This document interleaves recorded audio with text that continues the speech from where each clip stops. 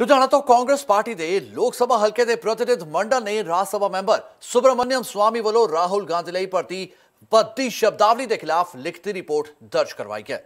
ਜੀ ਹਾਂ, ਜ਼ਿਲ੍ਹਾ ਯੂਥ ਕਾਂਗਰਸ ਪਾਰਟੀ ਦੇ ਪ੍ਰਧਾਨ ਰਾਜੀਵ ਰਾਜਾ ਦੀ ਅਗਵਾਈ ਵਿੱਚ ਡੀਸੀਪੀ ਲੁਧਿਆਣਾ ਅਸ਼ਵਨੀ ਕਪੂਰ ਨੂੰ ਆਈਪੀਸੀ ਦੀ ਧਾਰਾ ਤਹਿਤ ਮਾਮਲਾ ਦਰਜ ਕਰਨ ਦੀ ਮੰਗ ਕੀਤੀ ਗਈ ਹੈ। इस दौरान उन्होंने कहा कि भाजपा के राज्यसभा मैंबर वालों कांग्रेस पार्टी के नेता खिलाफ की गई इस भद्दी टिप्पणी कारण कांग्रेस पार्टी के वर्करों काफ़ी दुख पहुँचे जिस उन्होंने पुलिस प्रशासन तो मंग की है कि भाजपा के नेता खिलाफ सख्त कार्रवाई की जाए।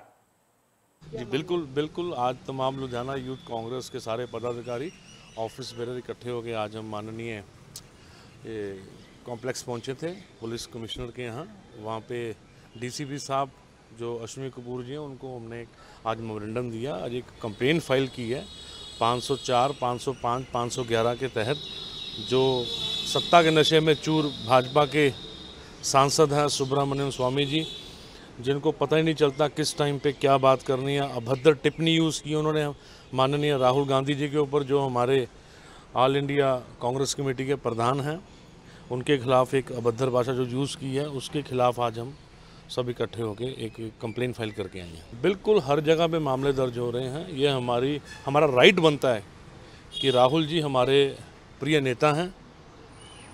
तन मन धन से हम लोग उनके लिए काम करते हैं, करते थे और करते रहेंगे। ठीक है, अभी उन्होंने इस्तीफ़ा ज़रूर दिया है। जब तक हमारे नए प्रेसिडेंट नहीं आते, हमारे और से हमारे जो कौमी प्रधान हैं, राष्ट्रीय प्रधान जिनको अध्यक्ष बोलते हैं, वो राहुल गांधी जी ही हैं। और जान तक भी देनी पड़ी तो वो भी देंगे।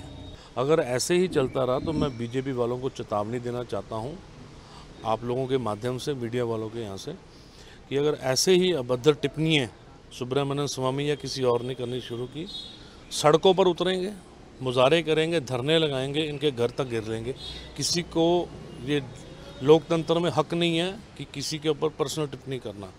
पॉलिटिकल पार्टी से अपना पॉलिटिकल काम कीजिए। माननीय मोदी साहब से एक बेनती करूँगा आप लोगों की हाजिरी में कि सुब्रमण्यम स्वामी को मेदंता गुड़गांव में एडमिट कराएँ, जो बड़ा हॉस्पिटल है, इनके दिमाग का इलाज कराएँ, इनका संतुलन खो चुका हुआ है। इस उम्र में अपना ये इलाज करा लें तो बड़ी अच्छी बात होगी।